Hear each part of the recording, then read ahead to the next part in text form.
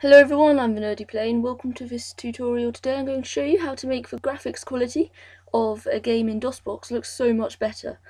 Um, so it's actually a really quick thing to do and also works on GOG.com uh, DOS games if you have any of those that you would like to learn how to make look better. I'll show you how to do that uh, at the end of this tutorial because it's a slightly different process. Um, but anyway, what you're firstly going to want to do is find where you have installed uh, DOSBox 2.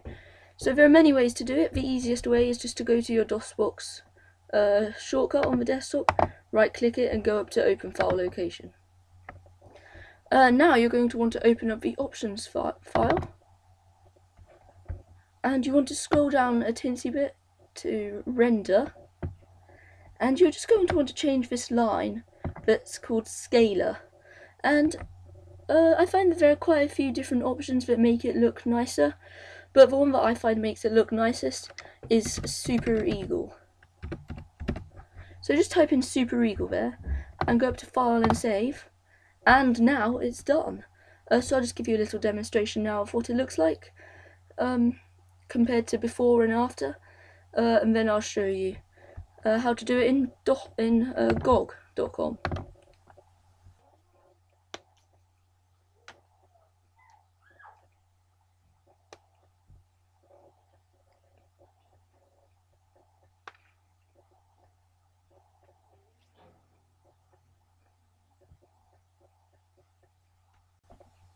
So for a GOG.com game, what you want to do is go to where you have installed it to.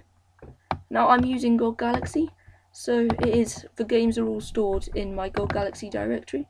But uh, if they're not, just go to where it's installed. And you're going to want to run this DOSBox configuration file.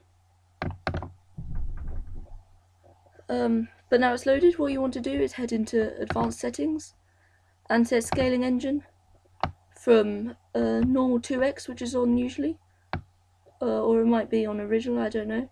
And you're going to want to set it to Super Eagle here. Then save settings, and then you can start a game, or you can close that there. Uh, so now you've done that, uh, the game should look really nice.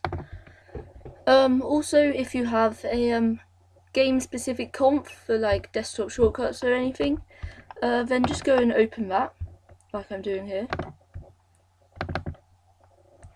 and just set uh, just do the same thing. Set scaler uh, to super eagle and then file and save. And uh, it will look really nicely then as well. Uh, so yeah. Um, I hope you've enjoyed this tutorial. If you have any comments put them in the comments section. Please don't forget to like this video. And also please don't forget to subscribe to my channel for more amazing videos. Uh, but for now hopefully I'll see you in another video. Uh, goodbye